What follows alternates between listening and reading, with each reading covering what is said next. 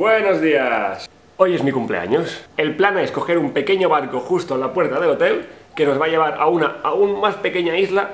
Bueno, la isla es un poco más grande que el barco, pero en proporción lo que sería un barco y una isla, la isla es pequeña. Y ahí vamos a pasar el día haciendo snorkel en un sitio chulísimo. Así que vamos a pegarnos un desayuno rápido y nos vamos hacia el barco en 1, 2, 3.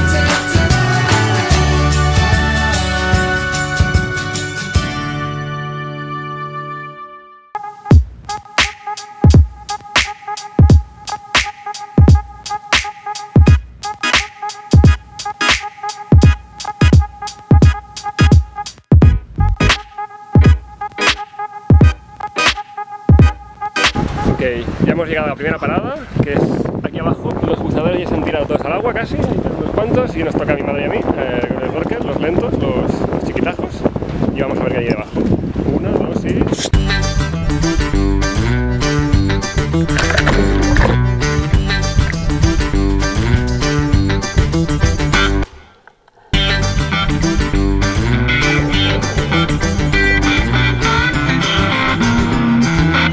Que nos hemos metido cinco minutillos, siete quizás, porque este sitio es, no es para hacer snorkel. Y los buceadores bien, porque se pueden meter hasta abajo y, y ver cuatro cosas, pero nosotros desde aquí arriba, la siguiente parada es eh, la isla que está allí, Calangamán, y allí esperamos que esté un poquito más snorkeable para ver algo decente, pez o dos, a ver qué tal.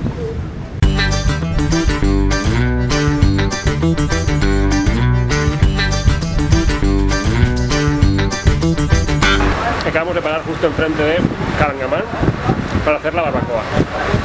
Creo que la idea era hacer la barbacoa allí, pero no he podido atracar el barco y estamos haciéndola justo aquí.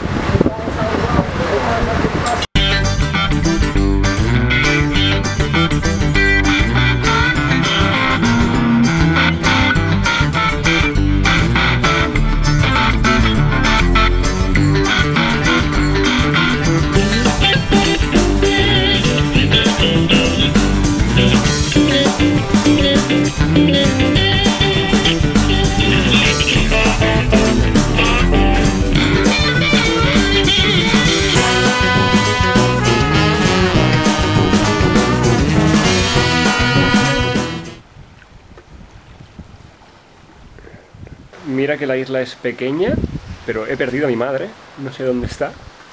¡Mamá! ¡Ah! ¿Pero dónde estás?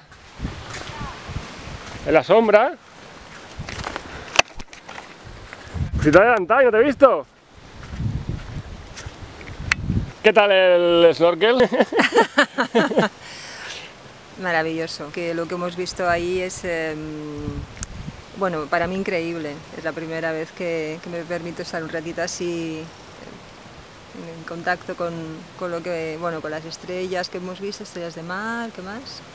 La, so, la ostra... Eh... La ostra gigante, la serpiente sin cabeza y mucho mejor que la primera inmersión. Ha valido mucho la pena. Hemos pues... venido a hacer lo que hemos querido, lo hemos hecho. Eh, ya éramos de salir de la isla, que total mide medio kilómetro. Y vamos para allá.